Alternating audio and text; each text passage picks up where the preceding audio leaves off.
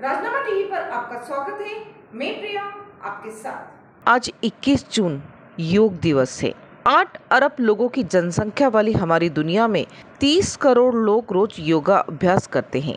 योगा अभ्यास करने वालों में बहत्तर फ़ीसदी महिलाएँ हैं। योग की उत्पत्ति का उद्देश्य आत्मज्ञान से जुड़ा था। खुद के अंतस को समझने में योग क्रियाओं की मदद ली जाती है। योग को वैश्वीकरण के पाँच शीर्ष उदाहरणों में से एक माना जाता है। हम भारतीय योग के लाभों से परिचित हैं। हम जानते हैं कि योग शरीर की ही नहीं, मन की मजबूती में भी मदद करता है।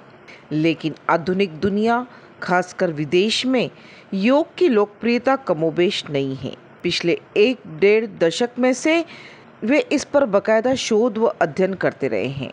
इसी आधार पर एक निगाह डालते हैं योग के लाभों पर। योग से मिलता है लचीलापन।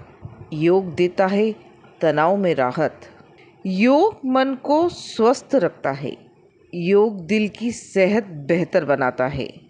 योग से पॉस्चर सुधरता है। योग से प्रतिरोधक क्षमता बढ़ती है।